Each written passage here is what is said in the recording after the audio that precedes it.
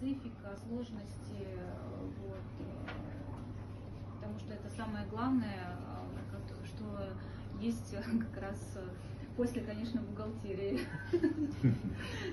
и мониторинга. Все важное. Но контролер все контролирует, поэтому э, Сергею слово.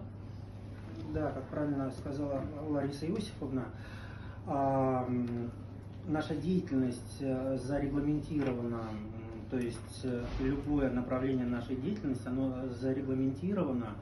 А, мы имеем лицензию Банка России а, на управление паевыми инвестиционными фондами, негосударственными пенсионными фондами и акционерными инвестиционными фондами.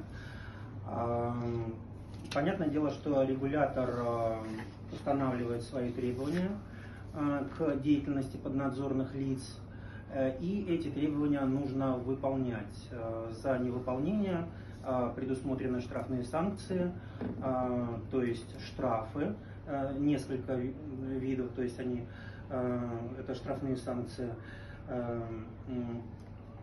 вплоть до отзыва лицензии, то есть все зависит от степени правонарушения. Э, собственно, для этих целей и создан Институт внутреннего контроля, э, чтобы внутри организации контролировать